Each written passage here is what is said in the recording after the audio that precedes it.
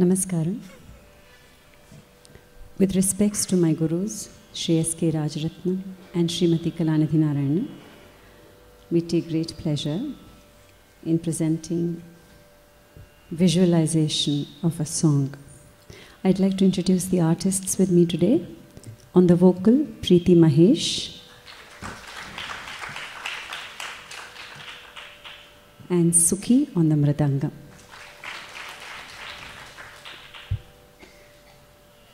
The topic I have chosen today is visualization of a song or a composition. Um, it's a very broad topic. I'm taking it in reference to the repertoire as we know it today and specifically with respect to three compositions. And uh, I have chosen these three uh, in a way that, that each one is different from the other.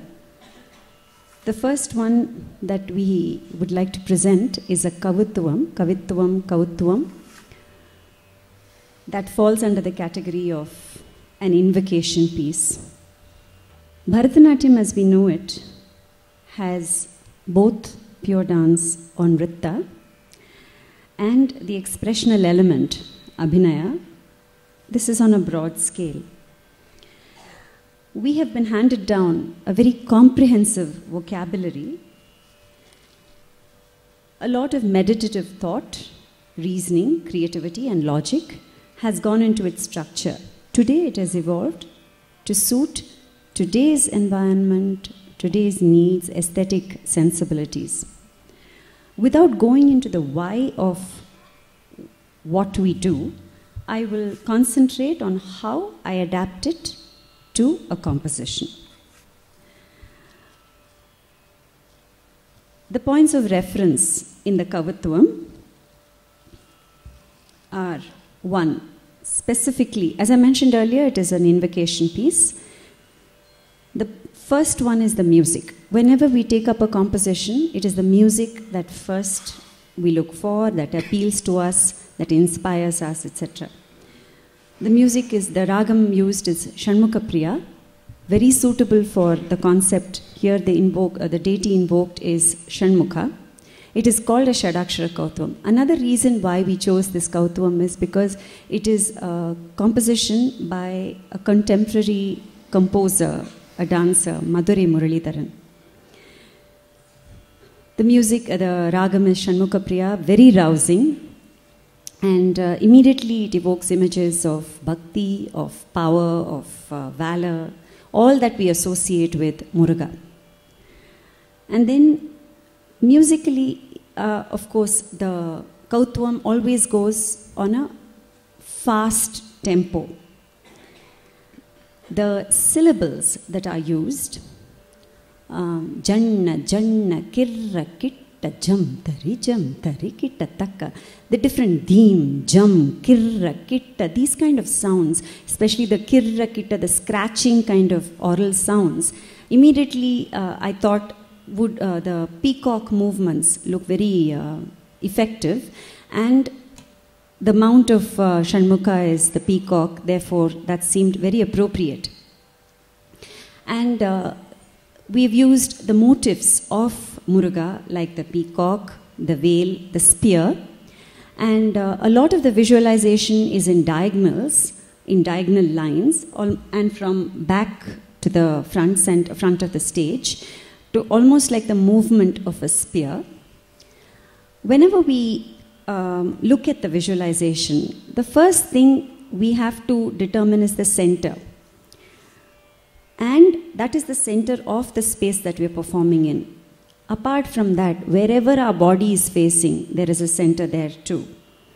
So when we think of visualization, it is in patterns.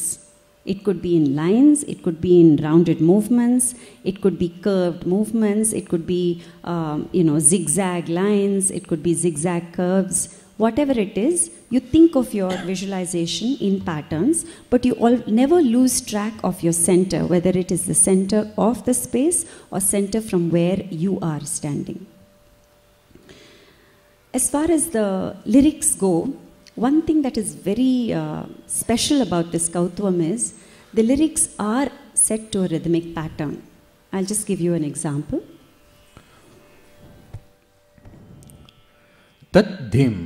तकधिमे तकधिमे तकधिमे तकधिमिताम तज्जम तकधिमे तकधिमे तकधिमे तकधिमिताम सुट्री तकधिमे तकधिमे तकधिमे तकधिमिताम तज्जम तकधिमे तकधिमे तकधिमे तकधिमिताम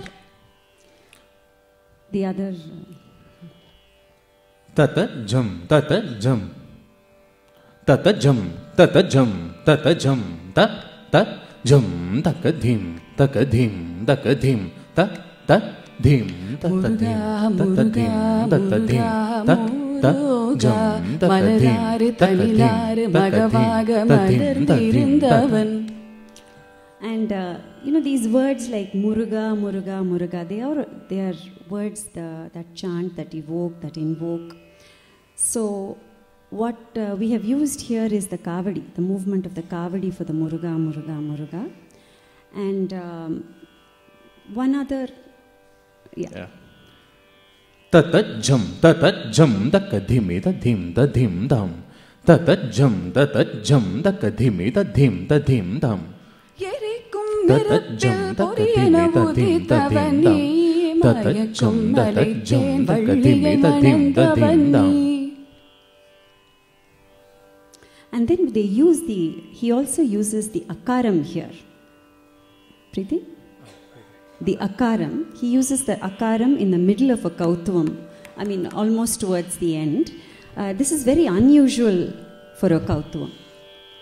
Mm, ah,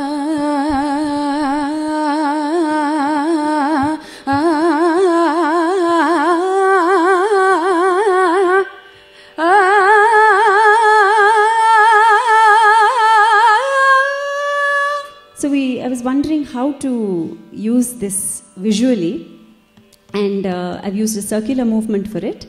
And the next word, the next line is Yerikum neruppin poriyana udittavan ni. So it has got a very uh, strong line, and it's almost like a scene change. The son of Nataraja, of uh, Shiva. So in the circular movement, I come into the Nataraja pose, Yerikum Nerupin Puriyana Udittavan. It seemed a very good, effective cut and a change of scene there. Um, we've used the adavus not the way that I have learnt it, but instead adapted the movements to suit the syllables. A lot of Mayura Hasta is used. Of course, need not uh, be said that it is because of Muruga. The idea is to seamlessly knit the pure dance with the lyrics the structure that uh, this Kautvam follows is the structure of uh, regular Kautvam, except for the two, three uh, beautiful uh, uh, um, points that I mentioned earlier. Um, usually the lyrics are uttered once, then they are sung once, and then you have the Tattimittu. We have followed that. And since the lyrics and the pure dance, the rhythmic, the rhythm is constant, uh, there is one portion where we have cut the rhythm as a relief with the Sarpanade. Sarpanade is a beautiful, uh, it really, it's visually appealing. At the same time, it gives a relief from the constant rhythm of this composition. The idea is to evoke the mood of Shanmukha using rhythm and movement. This is a particularly beautiful Kauthavam that we enjoy performing. We'd like to show that for you.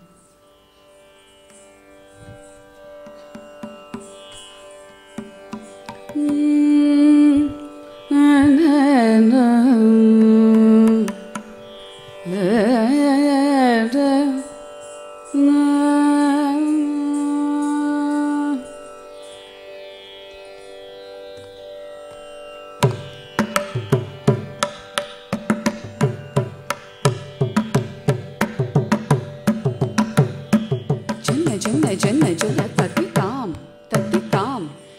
கிட்டத்தக்க கிர்ற கிட்ட கிர்ற கிட்ட ஜன்னு தாம் ஜன்னு தாம். தகுத்தரை கிட்டத்தக்க தொங்க தொங்க தொங்க தொங்க ஜன்னு தாம் ஜன்னு தாம். தகுத்தரை கிட்டத்தக்க கிர்ற கிட்ட கிர்ற கிட்ட தத்தி தாம் தத்தி தாம். தக்குத்தரை கிட்டத்தக்க ஜன்ன ஜன்ன கிர்ற கிட்ட ஜம் தரி ஜகதரி கிடத்தக் ஜன்ன ஜன்ன ஜன்ன ஜன்ன கிர்ர கிட்டத்த. ஜம் தரி ஜன்ன தரி கிட்டத்தக்க தகதாம் தகதி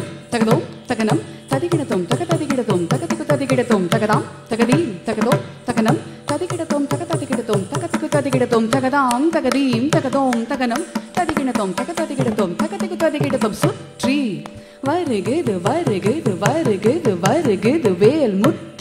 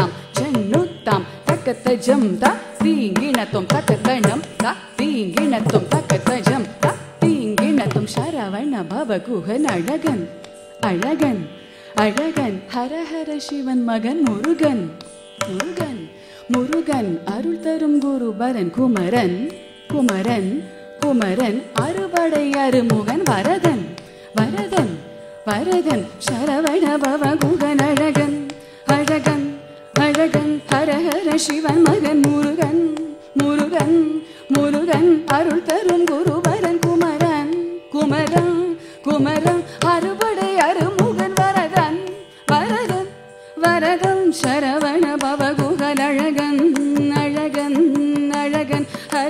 சிவன் மகன் முருகன் முருகன் முருகன் அருள் தரும் குருவரன் குமரன் குமரன் குமரன். அறுபடை முகன் வரதன் வரதன் வரதம் தாம் தாம் தக்கிட்டஜம் தீம் தீம் தக்கிட்டஜம் தொம் தொம் தக்கிட்டஜம் நம் நம் தக்கிட்டஜம் தக்கிட்ட தாம் தக்கிட்ட தாம் தக்கிட்ட தாம். தகுபரி கிடத்தக தக்க தாம் தக்க தாம் தக்க தாம். தகுபரி கிடத்தக தாம் தாம் தாம் தகுபரி கிட முருகா முருகா முருகா முருகா. மலராறு தனிலாறு மகவாக மலர்ந்திருந்தவன் குமரா குமரா குமரா குமரா. மயிலேறி விளையாடி திருவாக தவழ்ந்துயர்ந்தவன். மலையாறு தனில் சேவல் கொடியேந்தி மகிழ்ந்து அமர்ந்தவன் மறையோதும் அடியாரை மனதேந்தி ஊகருள்பவன் மலராறு தனிலாறு மகவாக மலர் மலர்ந்திருந்தவன் மயிலேறி விளையாடி திருவாக கவழ்ந்துயர்ந்தவன் மலையாறு தனில் சேவல் கொடியேந்தி மகிழ்ந்து அமர்ந்தவன். மறையோதும் அடியாரை மனதேந்தி ஊகருள்பவன்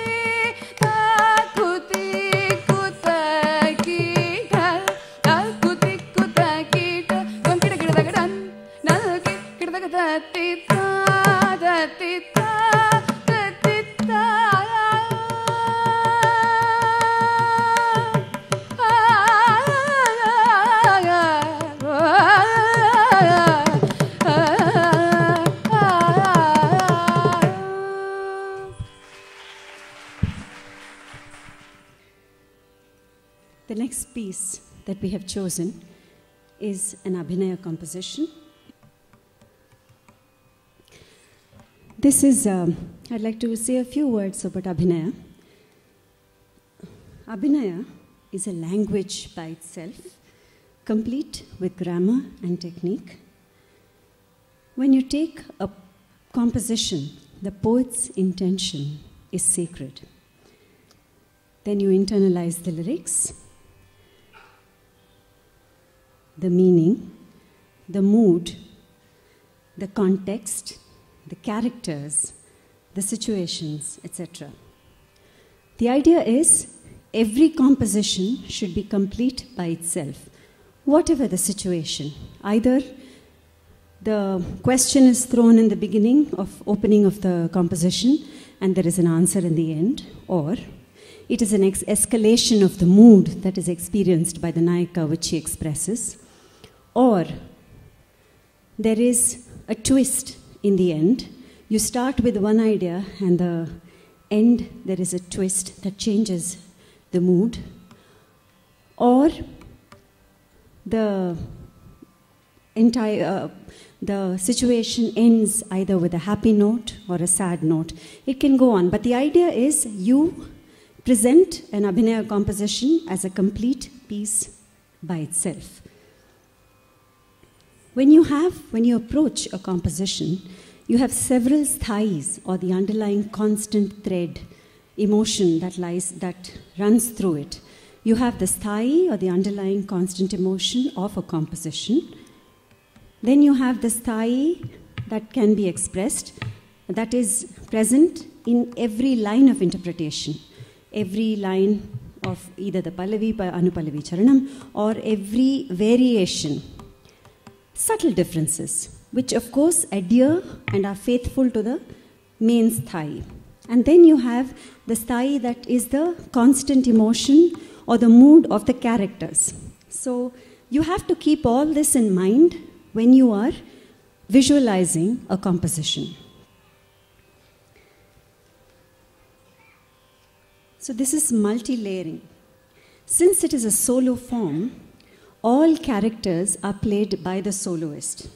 The change in the characters is shown by either the stance, the body stance, by the expressions, or the change in the side. I might keep, if I'm talking, if a heroine is talking to the hero on her left, then the hero replies to the heroine on his right. Or since I am playing the character, both the hero and the heroine, I, as the heroine, talk to my hero on my left, and as the hero, talk to my heroine on my right. So that way, I separate the two uh, characters with through space.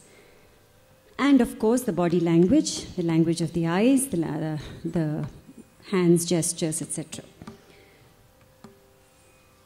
When a, if in a poem the heroine is talking to the hero, you have the hero, you have the heroine, and there is always a third character that is present throughout the composition, and that is the audience.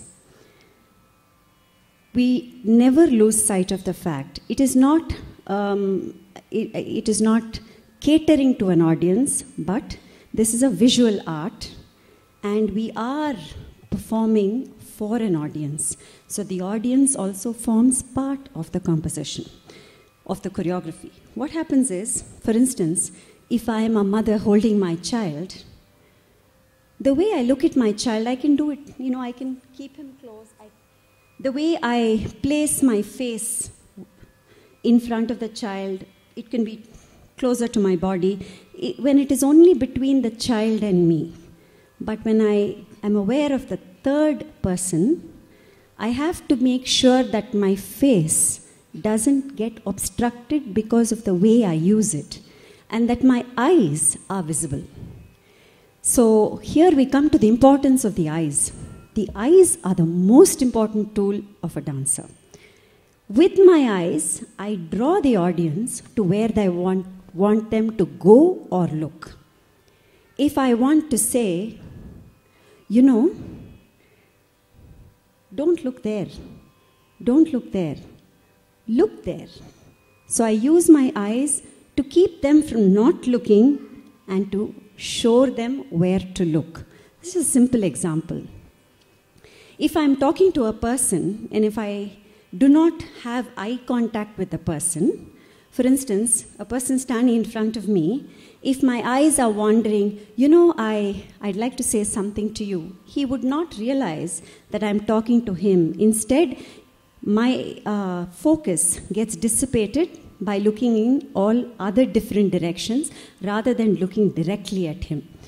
So one has to realize the importance of the eyes. Normally, we keep the characters in this solo form.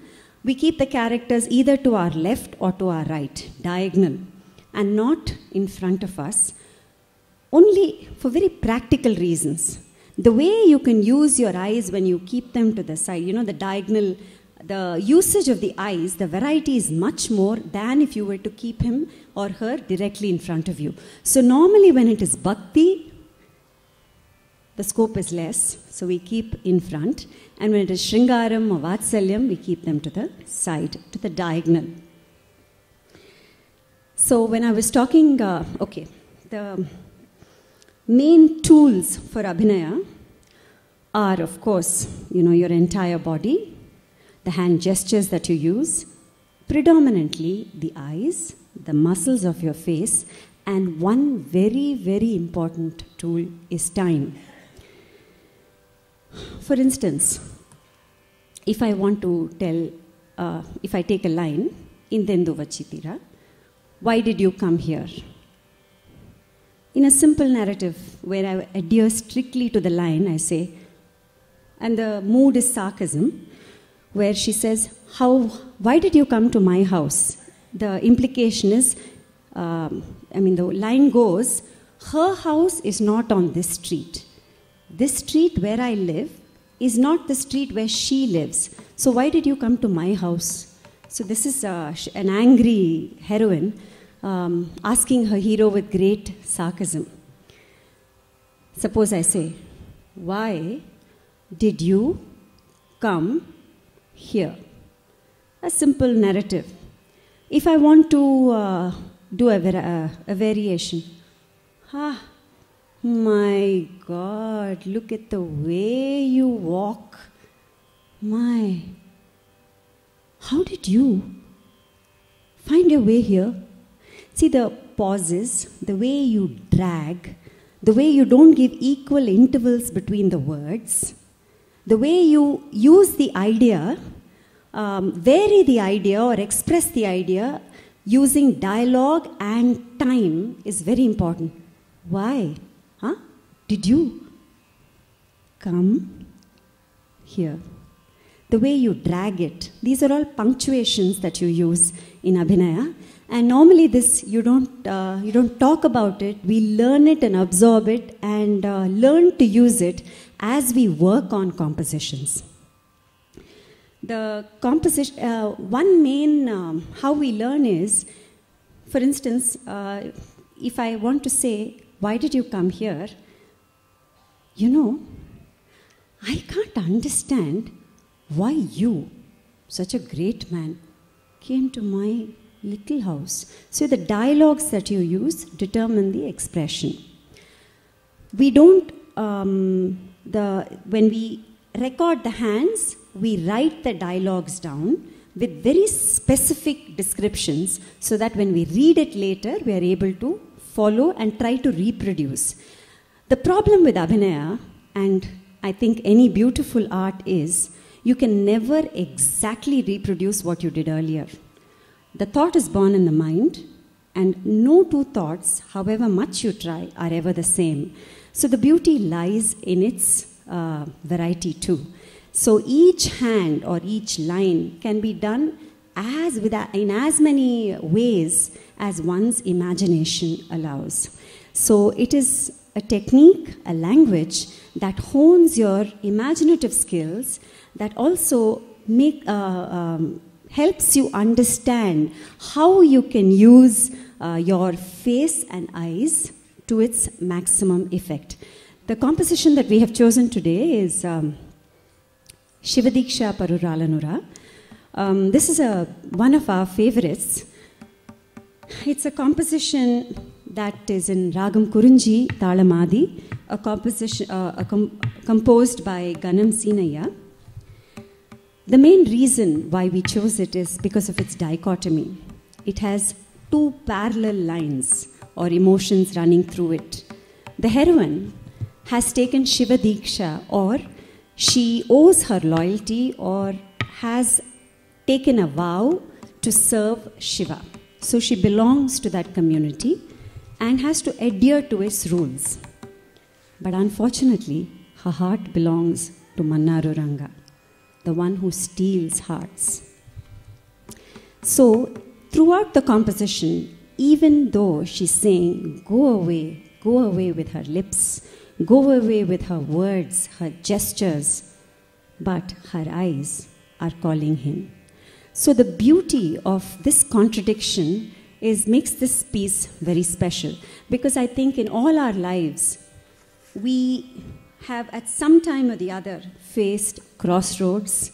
We're always tuss- there's always this tussle between the heart and uh, duty, and um, there are always choices that we make in life, and the inner self sometimes, almost always, threatens to, I mean, they're not always in sync with the self that has been carved by society, by the circumstances, by the situations that we undergo.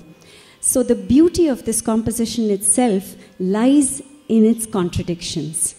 Um, the first, uh, the, now, when you take a composition, you have an introduction, you have the body, and you have the end. Now, the beauty of Abhinaya is, as I mentioned earlier, you make every composition complete, is you can have a very elaborate introduction and a very elaborate end, and the body can be very literal, but the beginning and the end will carry the piece. Uh, like, for instance, Nimatale Mayunara is a beautiful example of that. Um, where there is a where she welcomes him i mean she she is dressing up he knocks on her door she is absolutely fed up with his um, disloyalty and his not keeping up his promises and then when he, she when he knocks on the door she opens the door and then she asks what happened to all those promises that you made? And in the end she tires of him and then she shuts the door and bolts it many times and leaves. So the opening and the ending carries the very simple body. Then you have a simple intro, and the body is multi layered, where you can, uh, when the composition is uh, um, analyzed and uh, explored in depth. Shiva Diksha is uh, a beautiful example where in the beginning there is a prelude where she is walking to the um, river, she takes water for her puja. And just as she's starting her uh, Shiva puja, there is a knock on the door, and uh, Manaru Ranga enters. And after that, there is no peace for her. And uh, he says, Sheela mintaina viduvajalanura. She says, even for a moment, I cannot think of going against what I have been, uh, I have come to believe.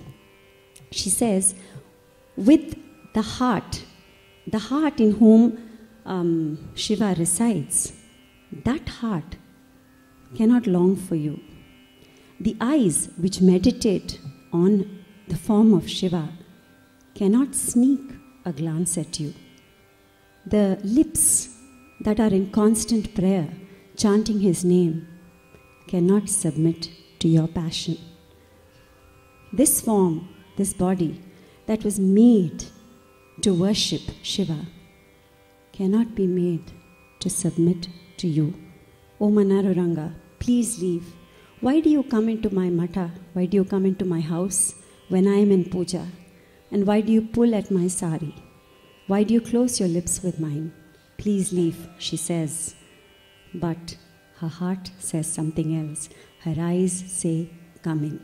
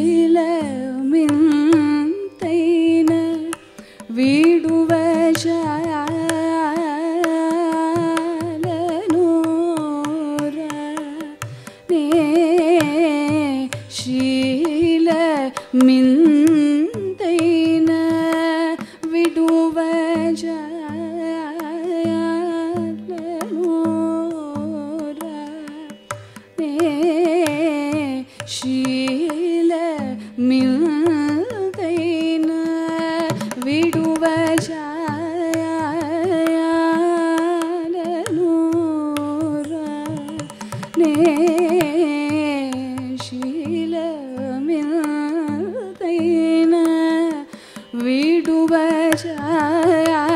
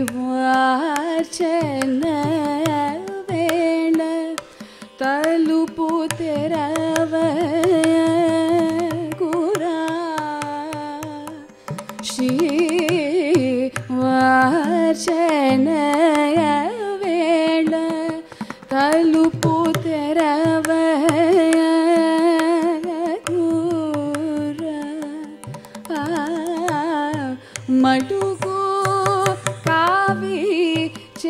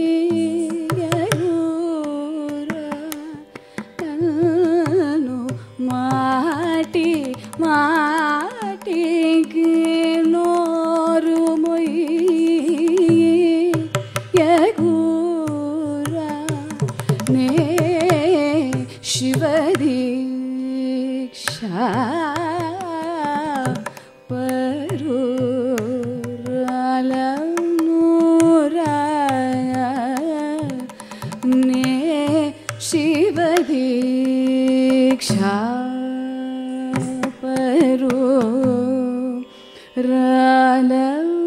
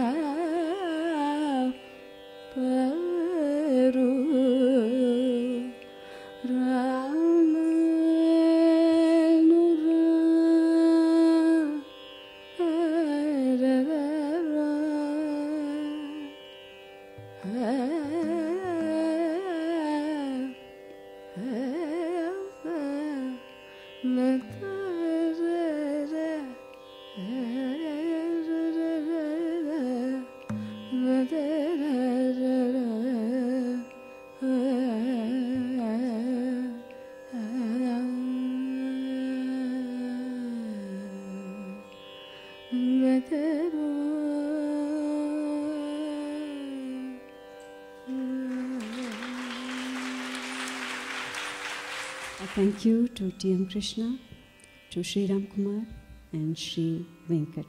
Thank you.